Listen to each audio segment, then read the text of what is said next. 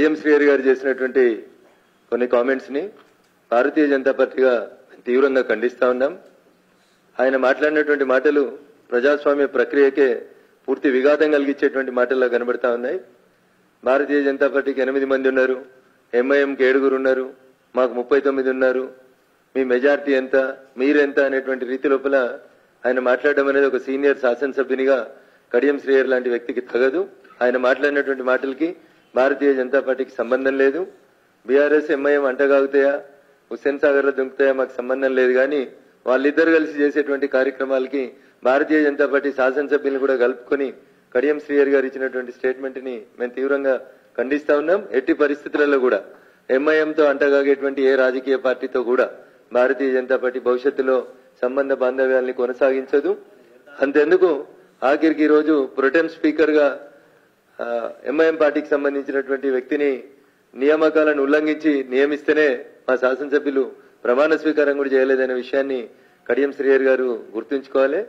ఒకవేళ వారికి తొందర ఉంటే పాత మిత్రుడు రేవంత్ రెడ్డి ఆయన ఇద్దరు కలిసి తెలుగుదేశంలో కలిసినటువంటి పాత దోస్తానే ఉన్న గుర్తొచ్చి ఆయన చేరాలనుకుంటే మాకేం అభ్యంతరం లేదు కానీ ఇక్కడ వారు గమనించాల్సింది టీఆర్ఎస్ రెండు వేల పద్నాలుగులో అరవై మూడు మంది ఎమ్మెల్యేలతోటి ప్రభుత్వాన్ని ఏర్పాటు చేసి ఐదు సంవత్సరాలు పరిపాలన కొనసాగించింది. ఇలా అదే టీఆర్ఎస్ గుర్తు మీద గెలిచినటువంటి కడియం శ్రీహరి గారు అరవై నాలుగు సీట్లతో గెలిచిన కాంగ్రెస్కి పరోక్షంగా వార్నింగ్ ఇచ్చినట్టు మాట్లాడుతా ఉన్నాడు. ఆయన మాట్లాడినటువంటి మాటలకి భారతీయ జనతా పార్టీకి సంబంధం లేదు. పూర్తిగా ప్రజాస్వామికంగా భారతీయ జనతా పార్టీ ప్రతిపక్ష పాత్రగా తన పాత్రను కొనసాగిస్తుంది. అట్లాంటి పిచ్చి పనులకి ఆయన మాట్లాడినటువంటి మాటలకి భారతీయ జనతా పార్టీకి ఎట్లాంటి సంబంధం లేదని తెలంగాణ ప్రజానికం అందరూ కూడా గమనించాలని ఈ సందర్భంగా అప్పీల్ చేస్తా ఉన్నారు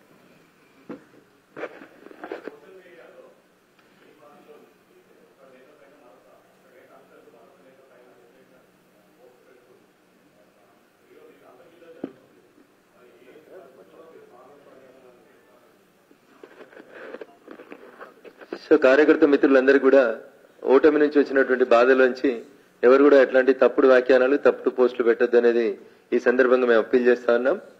పార్టీ అనేది ఒక కుటుంబం.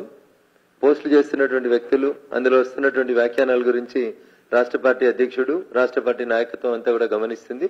అందరూ కూడా సమయం పాటించాలని సవినయంగా కార్యకర్త బంధువులందరూ కూడా ఈ సందర్భంగా అప్పీల్ చేస్తా ఉన్నాం. దానికి సంబంధించి సమయం సరైన సమయంలో సరైన నిర్ణయం రాష్ట్ర పార్టీ అధ్యక్షులు వారు తీసుకుంటారని మేము భావిస్తా ఉన్నాం.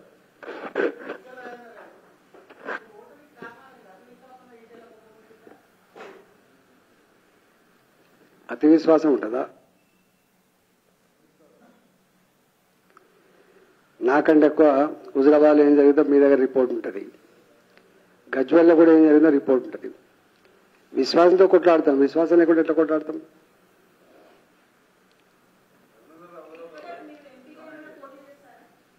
తెలియదు మా పార్టీ ఆలోచన చేస్తుంది.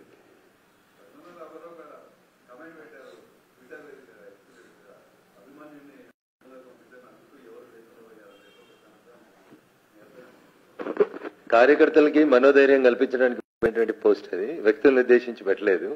దయచేసి నేను మళ్ళీ అదే చెప్తా ఉన్నా నేను నేను అందులో చెప్పినటువంటి సారాంశం ఏంటంటే అభిమన్యుడు ఒక రోజు కానీ ఆ యుద్ధంలో మొత్తం కౌరవ సేన కకావికలమై చచ్చిపోతామని అనుకుంది.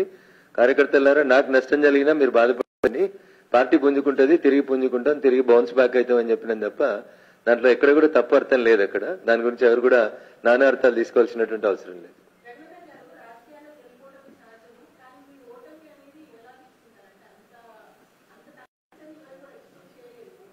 మీరే చెప్తున్నారు కదా రాజకీయాల్లో గెలిపోవటం వల్ల సహజమని.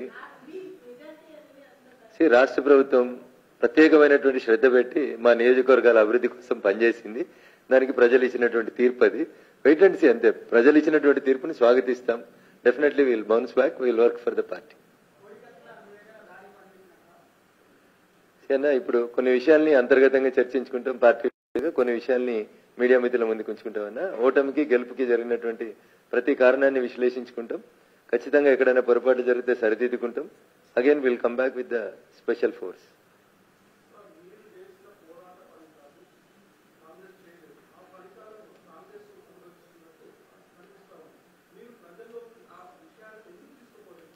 ప్రజాస్వామ్యంలో ప్రజలు ఇచ్చిన తీర్పుని ముందు గౌరవించాలి మిత్రమా?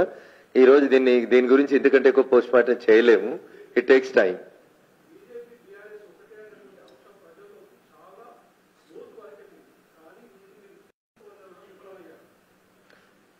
భారత ప్రధానిగా నరేంద్ర మోడీ గారు మేమంతా శాయశక్తులోటి భారతీయ జనతా పార్టీని ఈ రాష్ట్రంలో అధికారంలోకి తీసుకురావడానికి ప్రయత్నం చేసినాం.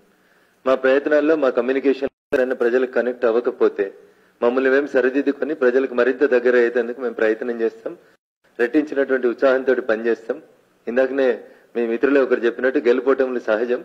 అన్నింటిని కూడా అంతే సేమ్ స్పిరిట్లో తీసుకుంటాం. Failures are the stepping stones for the success అని ముందుకు పోతాం. అపజయాల నుంచి గుణపటాలు నేర్చుకొని గెలుపు దిశగా అడుగులేస్తాం.